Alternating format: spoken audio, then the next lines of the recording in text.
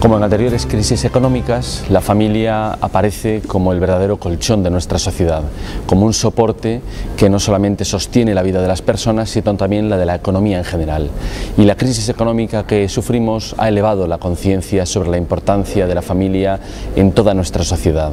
Todos los indicadores de las diferentes encuestas no hacen sino elevarse en lo que es la importancia de las relaciones personales, la importancia de los hijos, la importancia del ocio familiar, también la preocupación por el futuro de los hijos y su educación.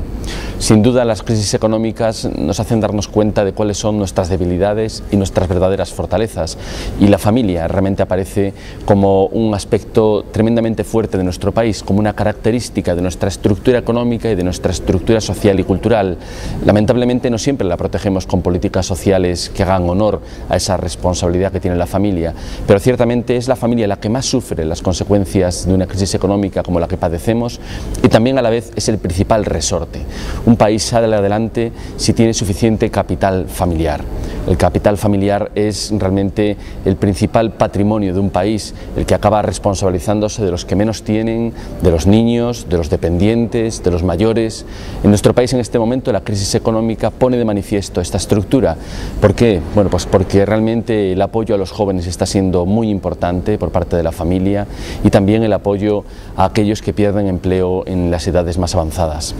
La privación económica no es el principal mal que trae la crisis económica, sino que sabemos que los procesos de exclusión, de vulnerabilidad social, dañan sobre todo el interior de la persona y sus vínculos personales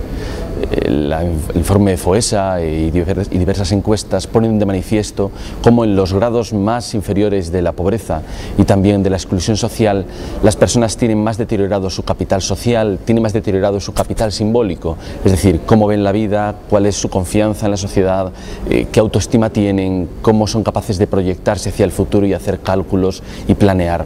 Y por eso la familia aparece ya no solamente como un motor económico, no solamente aparece como un soporte económico, sino aparece realmente como la fábrica de la persona, como el lugar donde la persona no solo se construye, sino también se reconstruye. Una encuesta eh, publicada en Estados Unidos nos dice lo siguiente, la persona tarda más en recuperarse de un año de desempleo que de la muerte de un familiar.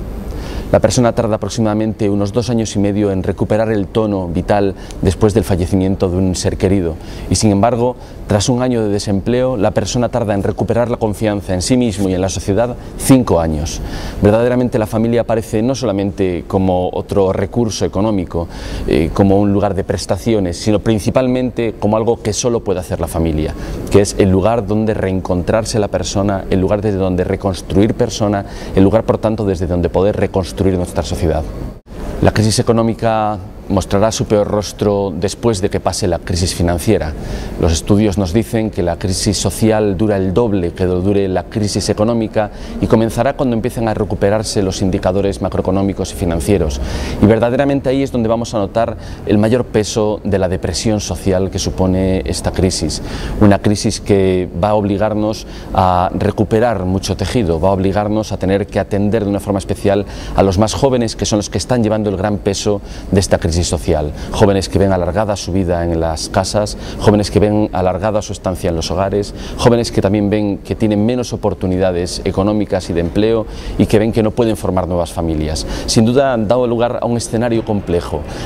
familias que no pueden formarse, eh, padres que tienen demasiado tarde a sus hijos, eh, personas y jóvenes que quizás no tienen suficiente confianza en el futuro de nuestro país y frente a esto hay que hacer una apuesta decidida por la política de familia. Igual que hay una reforma laboral, igual que hay una reforma de administraciones, igual que hay una reforma del calendario incluso eh, de festivos, tiene que haber una apuesta fuerte por una reforma de las políticas de familia que supongan realmente una promoción y fomento de lo, verdadero, de lo verdaderamente familiar. Y en ese sentido mostraremos cuál es nuestra capacidad de resiliencia. La resiliencia es la capacidad que tiene una materia de recuperar la forma después de un trauma. Y en una sociedad se aplica lo mismo, la capacidad que una sociedad tiene para recuperarse después de una crisis. La resiliencia de nuestro país está sin duda en función